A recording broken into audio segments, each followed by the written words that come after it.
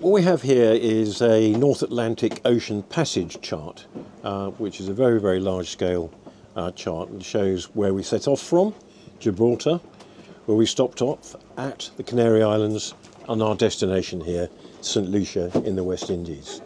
Now, we're not going in a straight line, and the reason for that is ocean currents.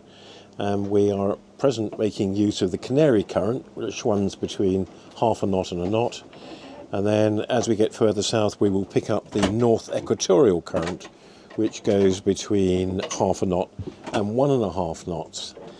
And what I've done here is I've plotted our midday position each day so that the event, in the event of a total failure of all electronic systems and all sources of GPS, uh, we will have a means of continuing uh, using conventional navigation techniques, including dead reckoning.